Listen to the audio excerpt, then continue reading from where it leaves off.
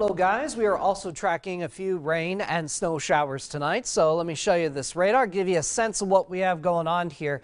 Uh, the bark here a little worse than the bite. Most of this is not reaching the ground. However, we may see a couple of raindrops, a couple of snowflakes really through about midnight or shortly thereafter. Uh, look at these nice mild temperatures for us. 51 Williamsport, the same in Pottsville. I have a 49 in Wilkes-Barre and Scranton, a little bit cooler in Mount Pocono where it's 39. So tonight will turn out uh, this evening with a couple of rain and snow showers around. I think for the most part we stay in the 40s. Overnight, maybe a little brisk, but it's going to be a little on the colder side too. We're forecasting lows around 30. Uh, make sure you have the Eyewitness Weather app because we have some big changes in our weather over the next uh, several days.